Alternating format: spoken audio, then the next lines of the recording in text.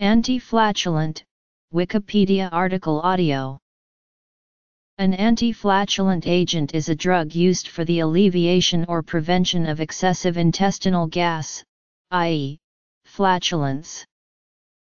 For the alleviation of flatulence, an anti-foaming agent such as simethicone may be taken orally. This agent will coalesce the smaller gas bubbles into larger bubbles, thereby easing the release of gas within the gastrointestinal tract via burping or flatulence. Mechanisms of action. Preventing gas. Relieving gas. Classification. Antifoaming agents. Enzyme-based dietary supplements. Herbal anti-flatulants